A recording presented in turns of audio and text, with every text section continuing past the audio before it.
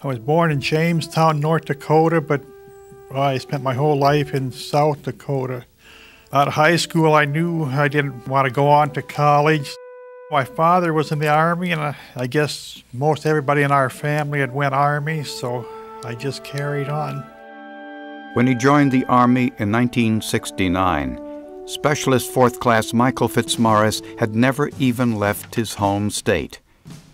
Just a few months later, he found himself halfway across the world in the jungles of Vietnam, hoping to serve his country in any way he could.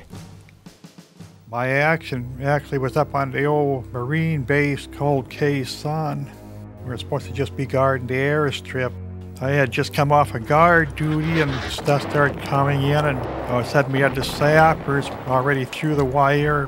The sapper was one of their most highly trained people. They were kind of like a suicide bomber would be today. They come through the wire and just run into the bunkers and blow themselves up.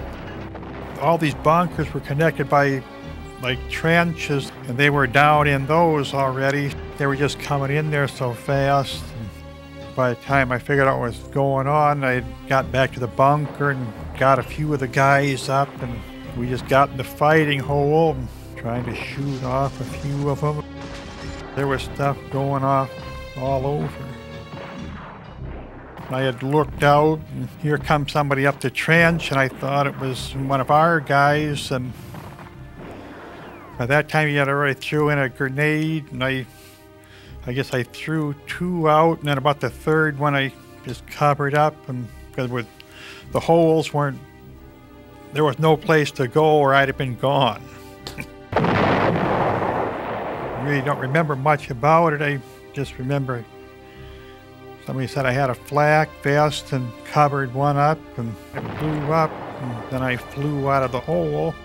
I was banged up pretty good and kind of blind and I was still still functioning so I went back in there with my buddy and we just kept fighting and I didn't figure on coming out of it anyway, so I thought maybe I could save my body and we with nothing else to do. I guess just keep going till you can't.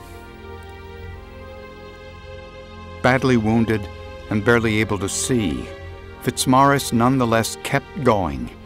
He jumped out of the hole and began firing at the enemy sappers, aiming with the assistance of a nearby comrade. When his weapon was destroyed by a North Vietnamese grenade, he felt around the ground for another. Unable to find one, he engaged the enemy in desperate hand to hand combat, killing one man and driving off several others. Despite the increasing severity of his wounds, Fitzmaurice continued to fight, refusing to be evacuated until the engagement was over. I'd been out of the service, I think, two years when they called me, or at, I worked at a packing house in Huron, and I received a telephone call out there that said I was supposed to report to Washington to receive the medal, and I was just awestruck. I that was a kind of the second time I ever left the states. So I don't know what made me do what I did uh, just doing the job I was supposed to be doing, and I do not regret it a bit. I guess your friends aren't not only friends, they're almost like brothers. And I'm just glad that they can still be alive and enjoy the rest of their life.